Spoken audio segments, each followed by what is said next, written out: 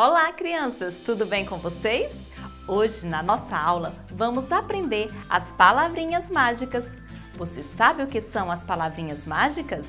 As palavrinhas mágicas são palavras que nos auxiliam em nosso dia a dia.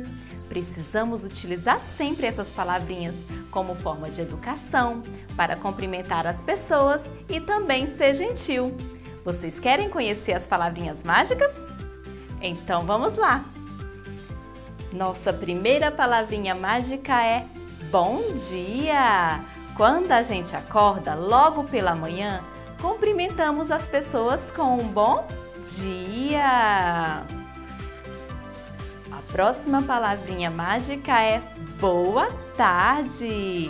Logo depois do almoço, a gente cumprimenta as pessoas com boa tarde!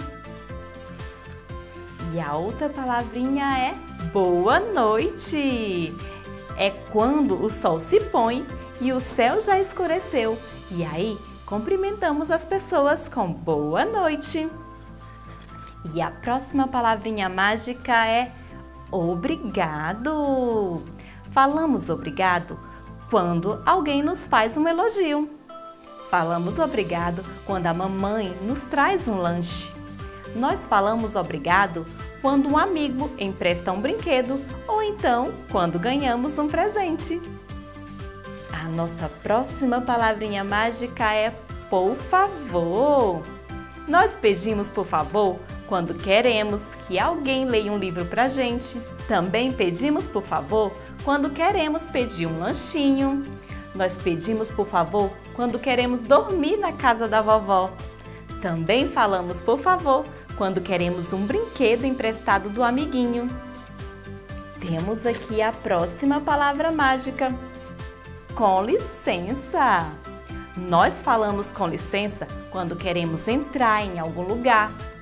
Também falamos com licença quando queremos um espaço para a gente passar. E quando terminamos de comer e queremos sair da mesa, também falamos com licença.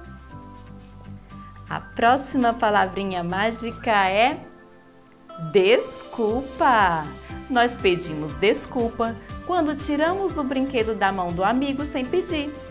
Nós também pedimos desculpa quando pisamos sem querer no pé do amigo.